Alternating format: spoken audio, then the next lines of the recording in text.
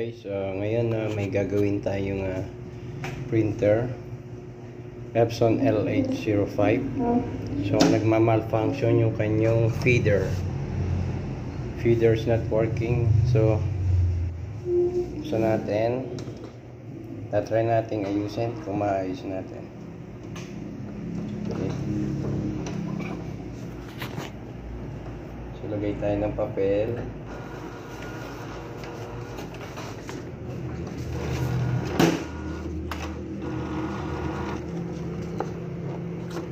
Okay. Mag-test print tayo. Oh, so, kuha na lang tayo sa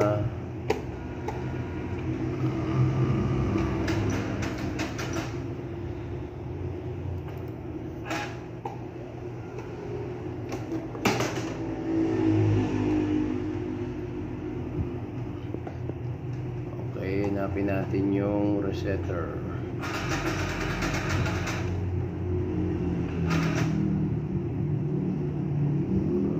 Res Epson.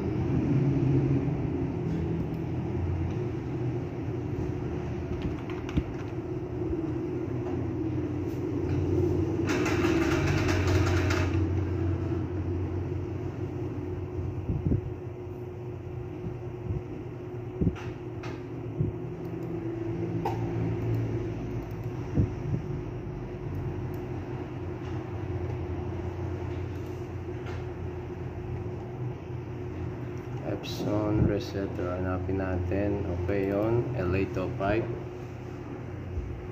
Open natin.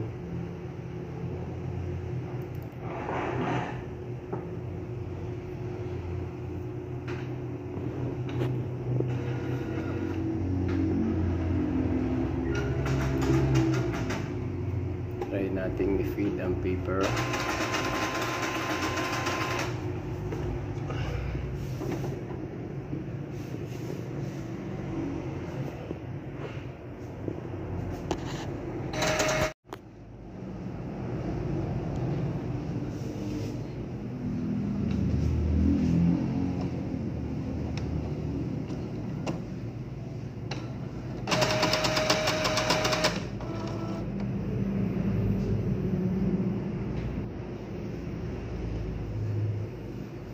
Okay. Test print tayo. Uh, paper feed test. One. One page only and then perform.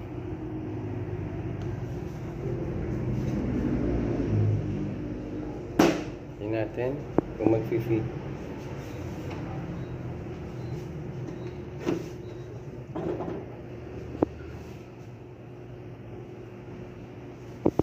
Gawa natin na Okay, magana tayo. Ah, saan ba siya? Okay. At cleaning. Mag-print tayo kunwari. Okay.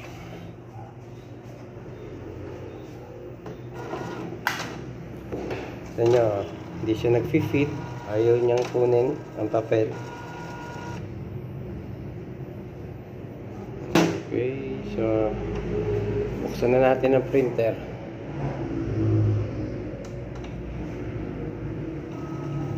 Okay, bubuksan natin ang printer mga kaibigan. Para ma-check natin kung ano ang naging problema. Kung ba tayo gumana ang feeder niya. Okay guys, uh, bali apat na tornilyo tatanggalin natin. Isa dito, isa, ito, tinanggal ko na sila. At saka dalawa sa likod. Okay. Ito. Tsaka ayun. Okay. Then uh, pupull out natin ito. Babatakin natin tong pinaka-cover. Yan. Okay. Para ma-access natin yung mechanical uh, parts nitong printer. Baka kasi may mga sumasabit lang or something na umiipit kaya ayaw gumana yung feeder niya okay tatanggalin ko na ha ayan guys tanggal na yung cover So, titingnan natin ngayon kung bakit ayaw gumanat yung uh, feeder niya. Okay, so saksak natin. So, saksak natin siya. Guys, so problema nito ay yung gear dito. Ah, mukhang may kumala sa gear dito. Kaya dito, itong gear na to mukha parang may kumalas dito kaya hindi nasama itong kanyang feeder ito so hindi umiikot siya. So try natin ulit yun. Tignan nyo hindi siya gumagana. Ito hindi umiikot. Dapat siya umiikot na eh. So ayun o so kailangan natin baklasin ang buong gear ito para may tama natin sa tamang posisyon So, yun, kumakalas na siya. Yan yun, yun o. Okay. So, ito, dito tayo may problema. Uh, babaklasin natin. Subukan natin matingnan kung pwede pang ma-repair. Okay? Yung uh, kinuha ko na yung uh, lumang uh, feeders doon sa T60 ko na sira din. So, ito yung galing dito sa ating LA25. Makita nyo, uh, naputol yung lock dito na plastic. Ayan. Ewan, kita nyo ha. Hop, layo natin. Ito, ito. Meron niyang parang kuntil dito eh. Parang ganito. Hmm. Ito yung doon sa galing T60. Okay? So, tanggalin ko para makita nyo. So, ingat lang kayo. May spring kasi yan. Tanggalin ko muna para makita nyo okay? So ito yung galing sa T60 makita nyo meron siyang parang kuntel. Ano ito ito ito ito. Ayaw mag focus focus. Yun ito ito ito. Ito. Ito nya ayun yan yan focus ayaw Ayan. So, ito yung galing T60. Aba, ayaw. Okay. So, yun. Ito ngayon yung galing dito sa ating LA25. So, putol siya. Ayun, oh. Putol. Ayun, putol, putol. So, wala siyang lock. Okay. Kasi yung lock ay pumapasok yon dito sa loob nito. Okay. So, ikakabit ko siya ngayon. Isang ipapalit ko muna. Kinuha ko yun sa lumang T60, sa sirang T60. Okay? So, dito siya natin ikakabit. Okay, babalik ko lang yung spring. Uh, wala kasi akong camera holder, nalimutan ko. So, ikakabit ko muna.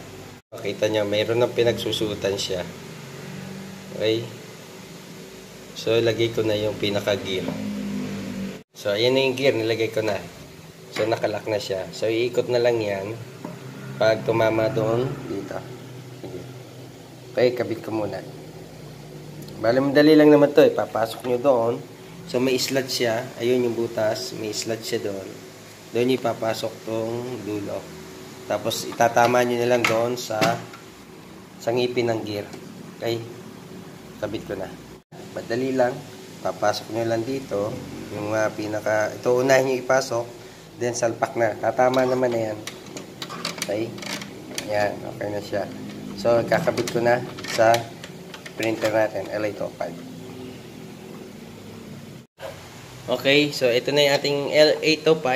Tatanggalin ko na yung kanyang waste ink, waste ink pad.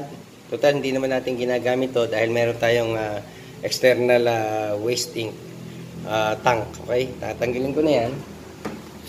So, kakabit natin ngayon itong feeder. Okay? So, itatama lang naman yan. Okay? Gaganon nyo lang sa dati. Naman ay papasok na ng kusa. So, ikabit ko muna ha. Pasensya na, wala tayong uh, stand. Nalimutan ko sa bahay. So, uh, kakabit ko muna siya. Tuturnil ko isa, dalawa, tsaka doon sa likod. Okay? Guys, yan. Nakikabit ko na. So, nakikabit ko na yung uh, feeder niya dito, okay? So, dalawang tornilyo yon Isa, dalawa, tsaka ito, lalagyan din natin tornilyo, okay? Um, then, try natin ngayon kung uh, gagana na siya, kung kakainin na niya yung papel or i-feed niya yung papel. Okay, wait lang. Try natin. Okay siya. Okay, then on natin. At uh, ito pala, meron pa tayong nilalagay na cover. Ito, cover natin siya dito. Okay. So, tama lang. Ito pala ay may function pa. Kasama ba to? Tatalong to. Ah. Sige, sige. Tingnan na muna natin. Guys, so inon ko na yung printer. Okay. Check lang natin.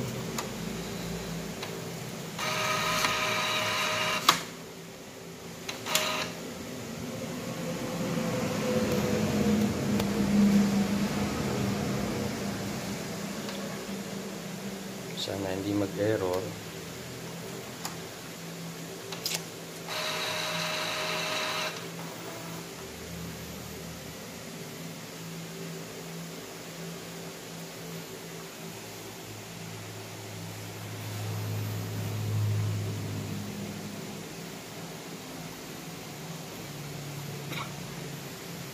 Okay. So, makiklean muna siya.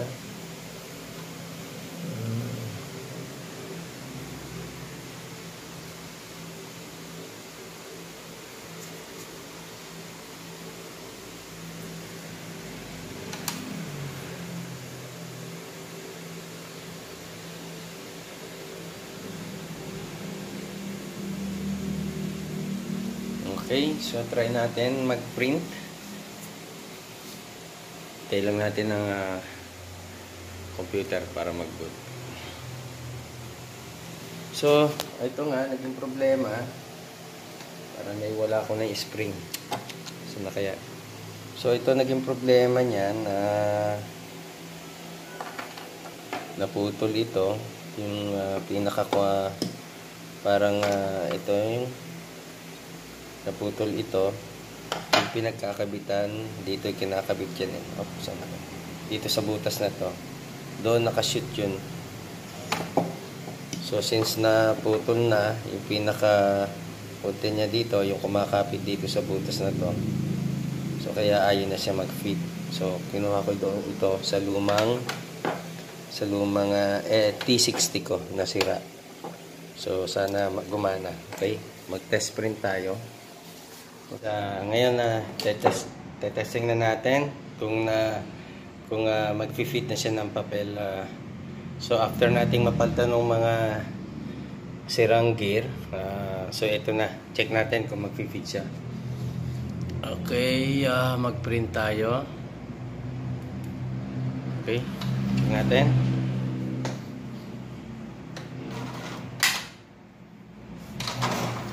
Ayun, ayos na.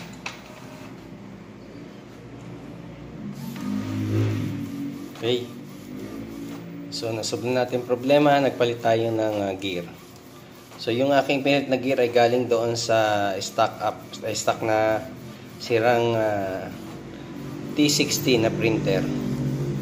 So, halos parehas pala ang laman nitong ano, itong Epson T60 at saka Epson L805.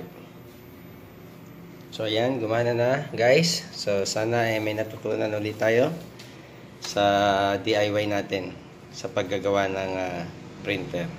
So kung may katanungan na uh, message nyo lang ako at para masagot ko kung ano man ang inyong gustong malaman. Okay guys? Uh, pasensya na at ngayon lang ulit tayo nakapag uh, upload ng video natin sa regarding sa printer. At medyo busy tayo marami tayong gawang mga signage. So siya ngayon tuloy ang ating uh, naunang gawin. Okay guys? Thank you for watching. Please subscribe and share. Thank you very much guys